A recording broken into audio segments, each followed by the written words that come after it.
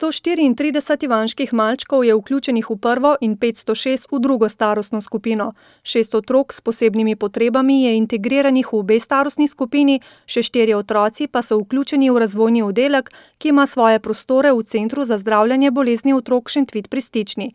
65 malčkov iz ivanške občine obiskuje 26 vrtcev po drugih občinah.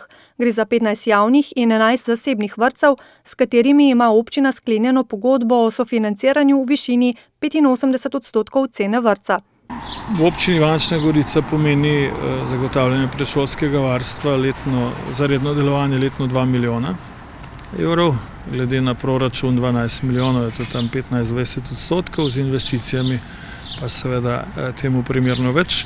Če je imel vrtec Ivančna Gorica na začetku deset oddelkov, jih ima danes že blizu štirideset.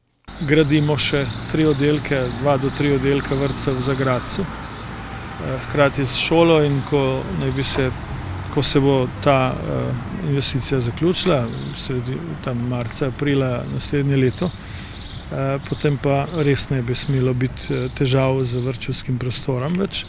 Sicer pa se bo po mnenju župana država morala odločiti, ali po vzoru osnovnega šolstva prevzame še predšolsko varstvo in vse, kar predpisuje občinam, tudi financira, ali pa bo predšolsko varstvo, vključno s postavljanjem normativov in pogojev, prepustila občinam.